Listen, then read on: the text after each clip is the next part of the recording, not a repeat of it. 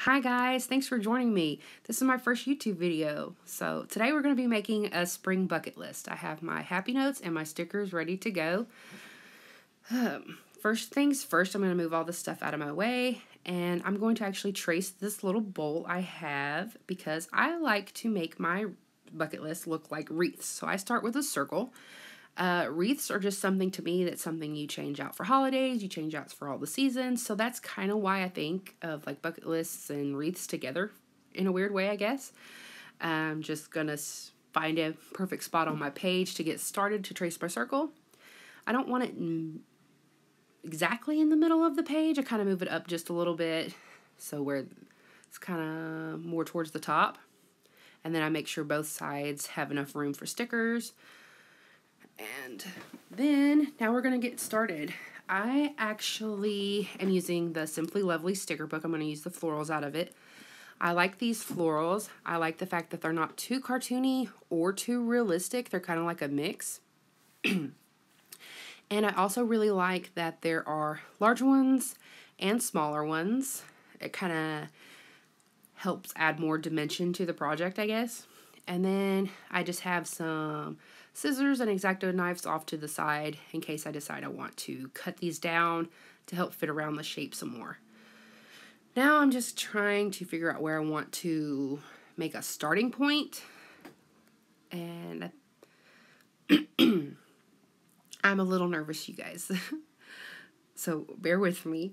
Um, but yeah, we're just going to put this up here. And then I think I'm going to add some of the smaller stickers around it. I really like when they are curved because it makes projects like this a lot more easier and I don't have to cut them down or waste as much of the sticker.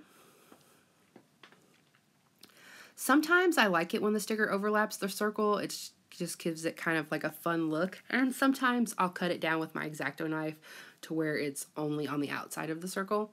Just really kind of depends. I really liked that big sticker down there. It really kind of balanced everything out. Like, um, and you could also go all the way around the circle, which that was my initial plan, was to go all the way around the circle with the flower stickers. But I decided to not do that because I was really liking the way it was as is. And it's really giving me like vintage tea party type of vibes uh, that whole book really kind of gives me that vibe. It's really pretty. And which again, we're just looking at some more of the smaller stickers here. And then right after this, I decided that I wanted to leave it like this. I didn't want to cut the stickers. I didn't want to add any more. I liked it exactly how it was. And then after that, I'm going to get my pen and make this, the lines that are left exposed, I'm just going to thicken them up a little bit to kind of make them stand out just a little bit more so they don't get as lost in the mix of things.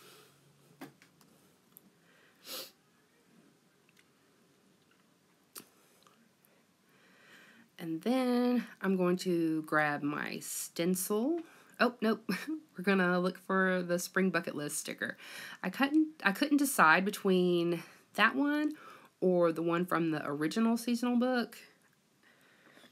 That was more like a banner. Both of them actually complemented the colors of these flowers really well. So I just went with the banner one and uh, just kind of hovered it around on the page a little bit until I found where I wanted to put it. And then again repositioning it, repositioning it, and there we go. So I kind of like having it offset and kind of overlapping a little bit of the circle and the florals. It just kind of gives it a really fun look. And now I'm going to get my stencil and we're going to add some bullet points and list some of our spring activities for our bucket list.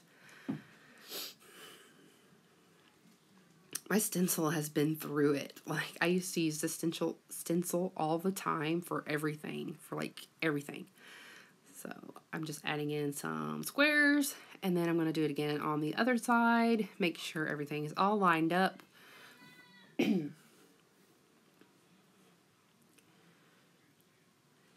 what are some activities that you guys do for spring? Anything special?